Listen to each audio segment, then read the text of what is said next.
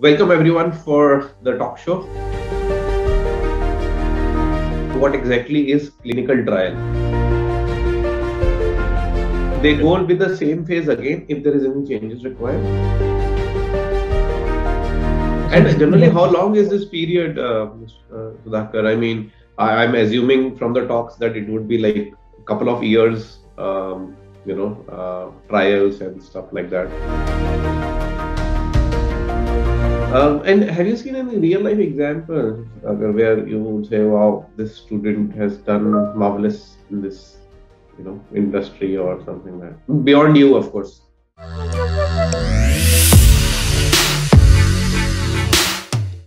Welcome everyone for the talk show. Uh, today we are going to discuss on career opportunities in clinical research for BSc and biotechnology.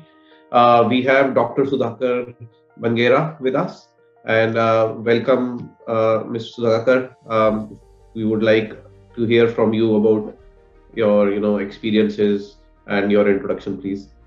Yeah, thank you, and um, yeah, it will be. Um, thank you so much for this, and I hope the students, uh, not just uh, BSc in biotechnology or BTech in biotechnology, but those who you know are in pharmacy life sciences or even MBBS and you know dentists or any other, they can also be you know part of this uh, growing clinical research industry.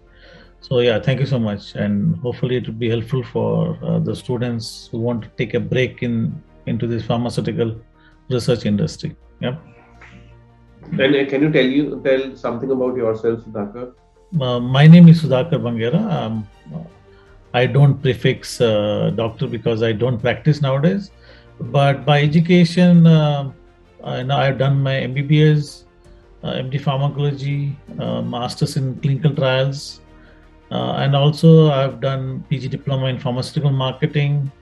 Uh, plus, um, also done my international and Indian vaccinology courses over my last 25 years now.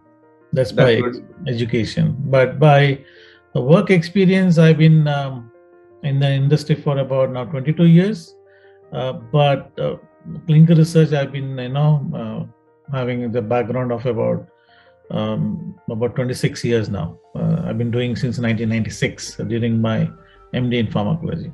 That's good to hear, Sudhakar. I think uh, students would be enlightened with your uh, knowledge and what you're going to share today.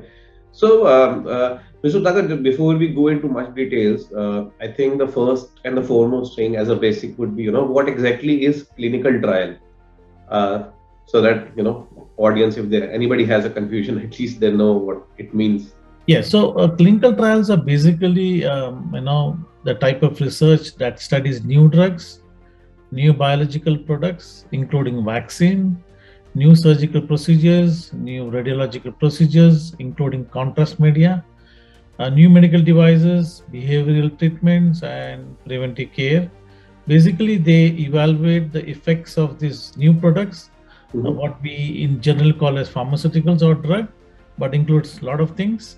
Uh, their effects on human health outcome, so that you know we know exactly whether they are safe and at the same time working as well mm-hmm. uh, because basically we want uh, new things that comes to market to make sure that they you know make the patients to live longer happier and healthier yeah so uh, clinical trials are also carefully designed reviewed and completed and they need to be approved by a regulatory agency of that particular country and also institutional ethics committee before they can start so people of all ages you know can take part in clinical trials, including children also. Even we start uh, from newborn all the way to you know, elderly or geriatric patients. Yeah. So clinical trials are of four phases um, plus post-marketing surveillance.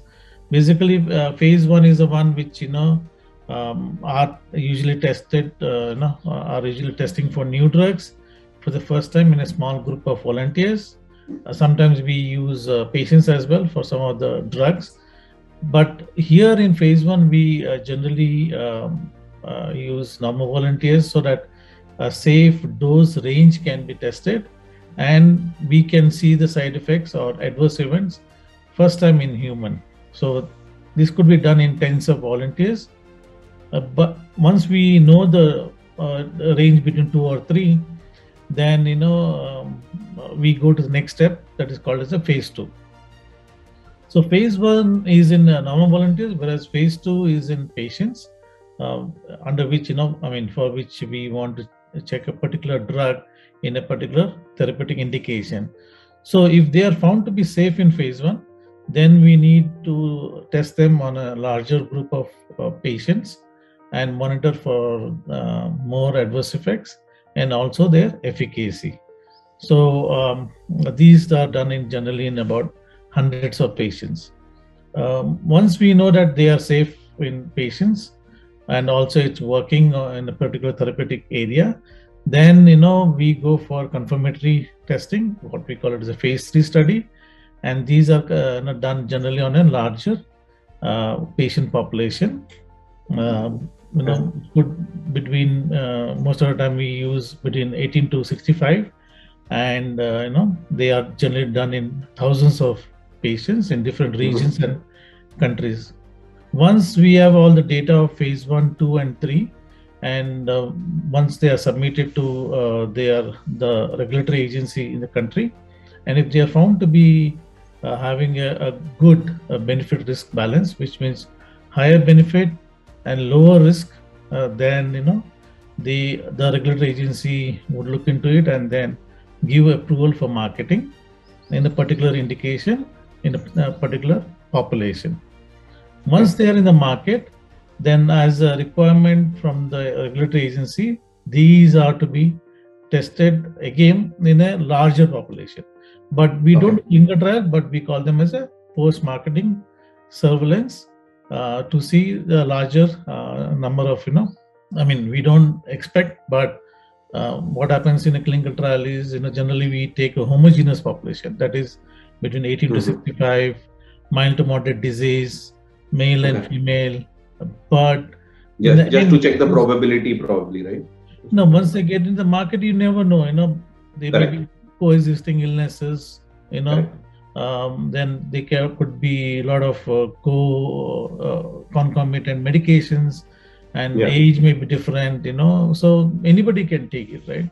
Correct. Because we generally don't test in pediatrics and uh, pregnant women but mm. unfortunately you know it is still given in you know a pregnant woman because it is definitely required then you know mm-hmm. because we have a sense of uh, safetyness or a safety profile from the earlier studies so once uh, so we we also call this as a pharmacovigilance as well so as a part of pharmacovigilance the manufacturing or manufacturer or the marketing authorization holder is supposed to give PSURs periodic safety update reports for mm-hmm. four years and then um, it goes on you know in the market if there is any change in the you know formulation like from immediate release they want to go to a sustained release then you know or there is a route of administration a change or there is a target population also is now different from what has been tested in 1 2 3 you know or somebody wants to have a fixed com- uh, dose combination, what we call fdc then you know um, they have to do a study to make sure that they are you know uh, working well as well with the new formulation. So say though they go with the same phase again if there is any changes required, or so we call them as phase four. We phase call four. them as phase four okay. because it's a study, clinical study, but okay. now there is.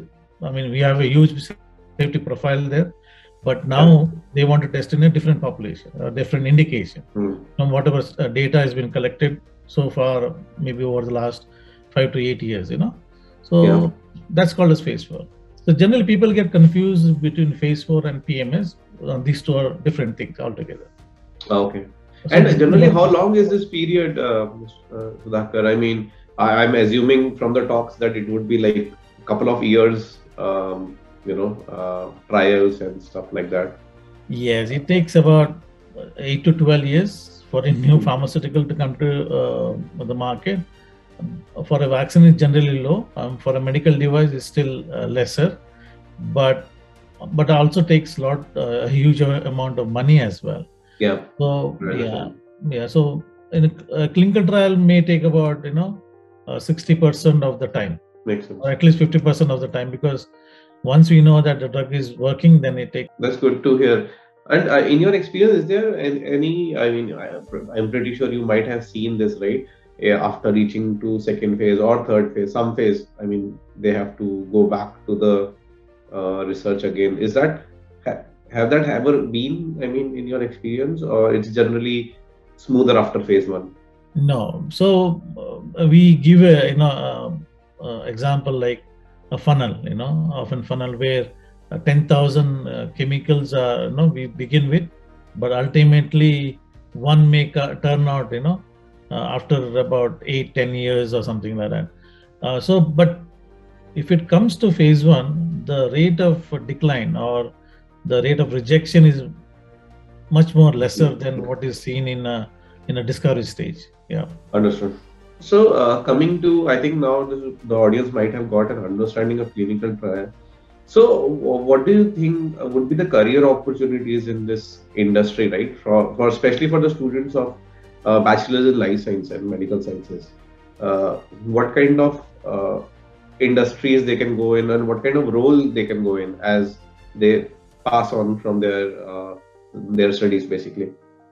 Sure. So, as I mentioned in the beginning, like graduates with you know medical and uh, life sciences, including pharmacy, nursing, Hmm. physiotherapy, dentistry, or even medical, they always have you know good opportunities in the pharmaceutical industry. Okay. Um, one thing people don't realize is uh, most most think that the new vaccine or a new drug or a new device comes from industry directly. No, it is not the case always. Most of the time, uh, it comes from academic centers. So Ah, okay. yeah, so students have to realize that you know the research on new pharmaceuticals can be done or generally done in in a good scientific aca- uh, academic institutions. Oh, I is it? can give an, I can give an example. Like everybody thinks it's a Pfizer vaccine or a AstraZeneca vaccine, but very less people realize that Pfizer vaccine came from BioNTech, you know, which is a from Germany, a, a couple who discovered that mRNA platform, Oh, uh, plus others also. So it's a very small company. And AstraZeneca's uh, Chad uh, Ox, you know, also came from the Jenner Institute and the Oxford Vaccine Group, and they Oh, were okay. Uh, they were you know let out to AstraZeneca for bulk manufacturing and also marketing uh, worldwide. So these Okay. are the scientific, you know, huge ones who actually make a break and then transfer the technology to industry. And industry takes the risk of, you know, if it is working, it's a, you know, uh, rock star. If it is not working, then it gets dumped into the rocks.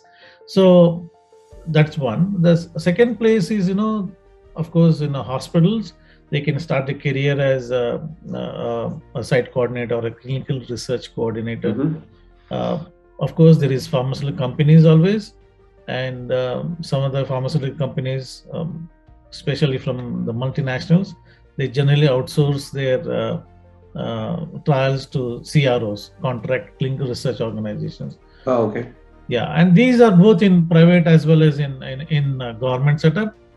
So yeah, to answer your um, question short, yes, there are quite a lot of opportunities in these um, academic as well as in industry, uh, both in the government and the private sector. And how is the demand kind of increasing or static or something in especially on the job side of it, right? Because because the most of the audience would be students and uh, people who are doing research, they would be more interested into understanding that aspect. Uh, Yeah, so I can give a very simple uh, example for that. No, as long as sickness is around, you need medicines to treat them. That True. is one. And you know that these bacteria and viruses or even fungus or parasite just don't disappear from the face of earth, right? So you need to prevent them also. So we need preventive medicines as well, including vaccines, you know. So um, of course, people think vaccines are only for prophylactic, but vaccines are also uh, there for therapeutic as well, you know, for treatment purpose also. So as long as sickness is around, there is a requirement for all these medicines and Mhm. vaccines, uh, including for pharmaceuticals, biological, medical device, cosmetics, Mhm. you know, so in, everything is required. And now, um, as we get along and we want to make it very, you know, um, I mean, like I said, uh, patients need to live happier, right? So even you know small things like thermometer also are regulated because okay. based on the readings from a thermometer, a doctor or a physician can prescribe some medicine. Now, if the thing is reading, you know, uh, differently or reading wrongly, then Correct. you will end up prescribing something which may not be, you know, good for the patient, True. right? So yes, so there are, uh, there are, you know, uh, opportunities for everyone. Mhm. Um, and of course, you know, I think science uh, organizations are, have been always there and will Mm. always be there. But uh, the only thing that they require is they require highly motivated and enthusiastic kids to be around the you know Mhm. experienced people. So experienced people, you know, uh, of course, they have quite a lot of wisdom in them, Mhm. but uh, they need legs and uh, you know uh, hands to you know to do the desk job right so Mhm. yes so students definitely have a good opportunity and they will be in demand for a very long time That's Yeah. that's good. Uh, and uh, after bachelor, generally people have this question in mind, right? Uh, should I go for master? Some some students are very clear, right? I mean, what their the path is, but some students uh, generally want to know about, you know, uh, can they do masters, and after master, does it uh, help in a in a better way for them in research or in other career fields? So, what is generally the trend or uh, the thought behind the same? Yeah, I i mean my personal experience is i always uh, you know advise students to do the masters and phd uh, if they are doing the that route or if they are doing mbbs or bds or bpt i always tell them to do their respective masters program in that it's not only you know having a masters means that you know everything no.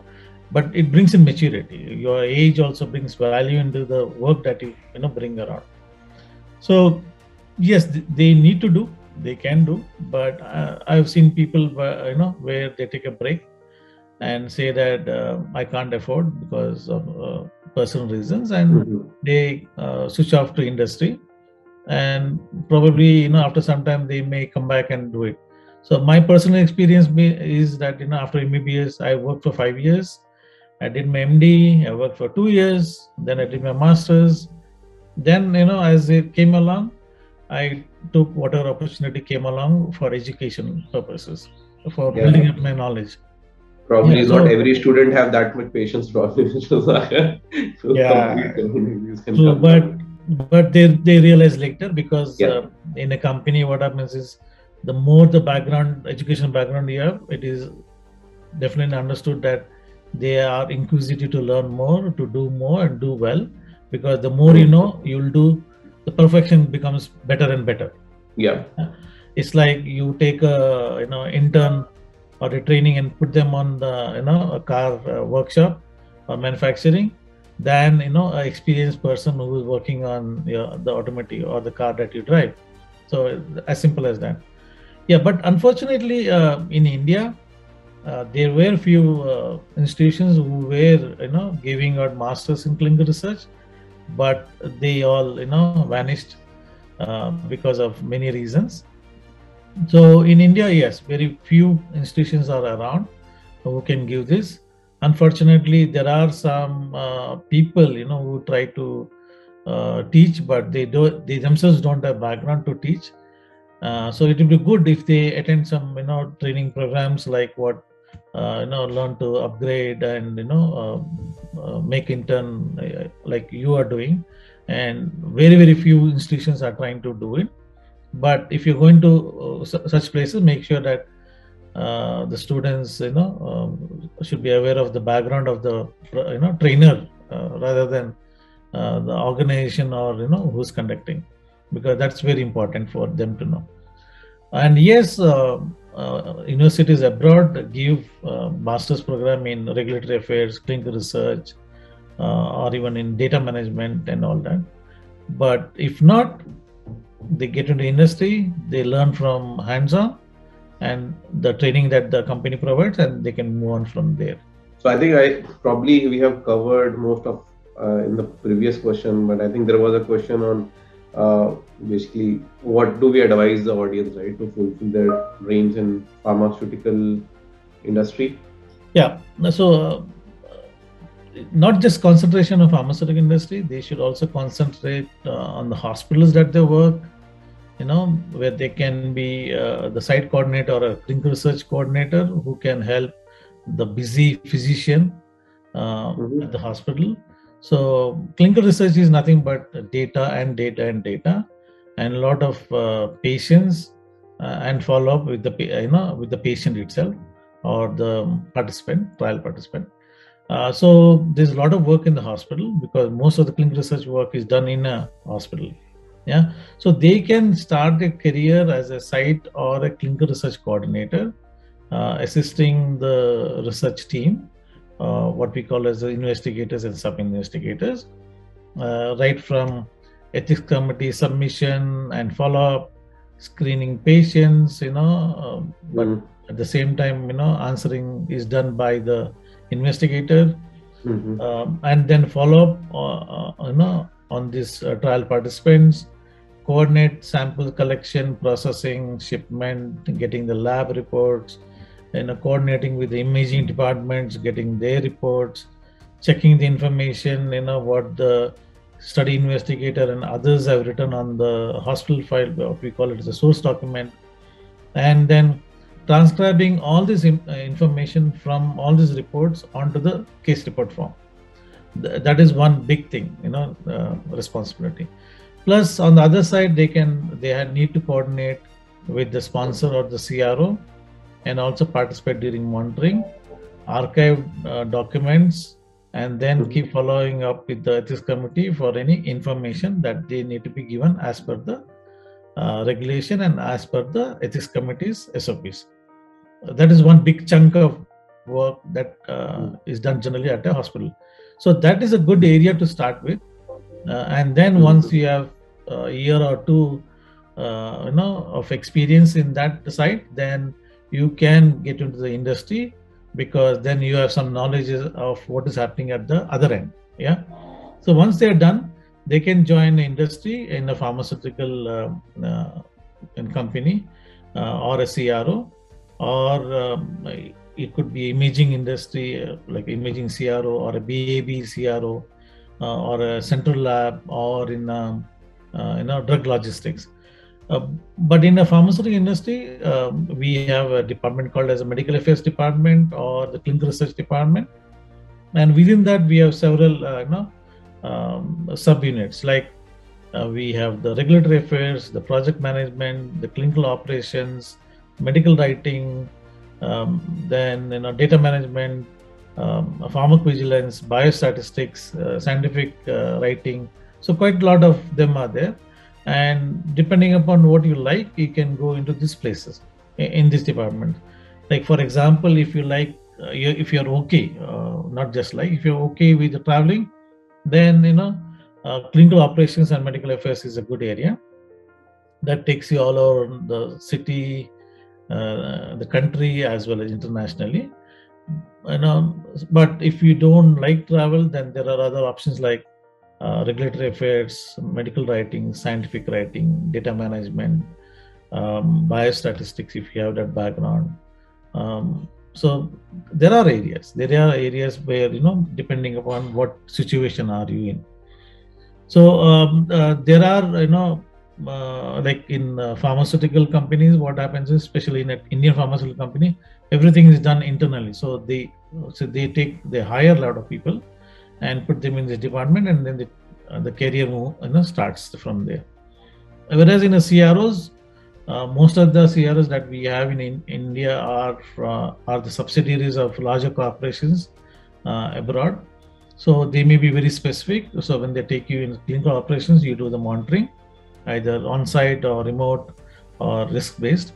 Or if you are in data management, then you have some IT inclination. Then it could be uh, or even with SAS programming, you can be a SAS programmer to a data management professional, or even you know be a part of the database creation.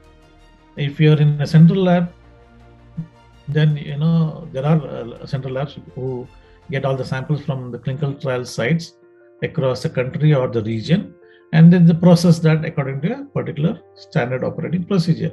So that processing, uh, if you like, uh, that could be another place that you can be. Um, but there are opportunities. So if you're a good, uh, you know, if you have good uh, communication skills, especially in the uh, written communication skills, then you can get into medical writing or scientific writing. Okay. If you have IT skills, then you can get into the data management.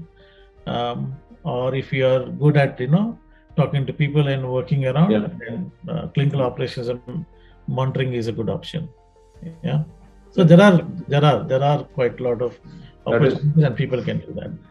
that was I think a lot of uh, streams to consume by the students. I think in this video probably need to do, do some research on the roles which you have just mentioned, so that they get better idea. Or probably they can you know check with their mentors and stuff like that. That's good. Um, and have you seen any real life example where you would say, "Wow, this student has done marvelous in this, you know, industry or something like that"? Beyond you, of course. Yeah. So there are thousands of people uh, who are in the clinical research industry, and I think uh, nobody has a regret uh, other than you know a busy schedule within the company and busy travel that you do. If you like traveling, then I think there is no regret in that. But Okay.